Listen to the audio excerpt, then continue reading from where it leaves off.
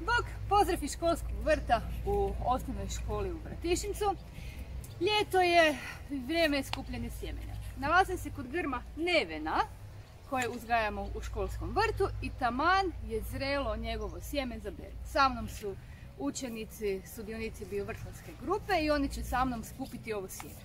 Znači kad se skuplja sjeme na nevenu, pa ono što možemo vidjeti ovdje još uvijek cvate dio nevena, nakon toga razvija se sjeme koje je prvo zeleno, ovo ne skupljamo, nego taman kad se posuši, samo ovo što je suho, to je spremno za berbu, to je zrelo sjeme.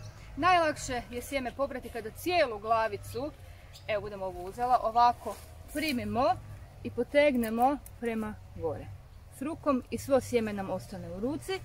I sad sve ovo i ovo sitnije i ovo veće, sve to sjeme i sve ćemo to posušiti još do kraja i spremiti.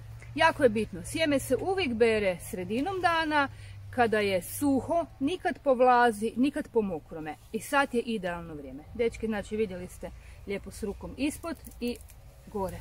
Ovak. I stavimo posude pa odite malo u beru. skupite sjeme.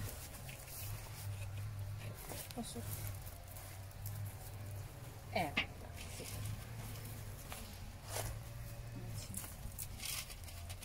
Kad bi se sad ovo rasipalo, kaj bi se dogodilo?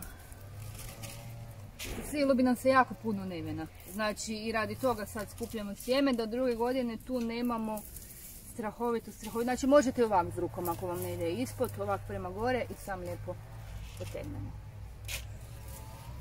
E, tako. Možeš i ovak. Eto, to je to. Mi spremamo svoje sjeme, a vi?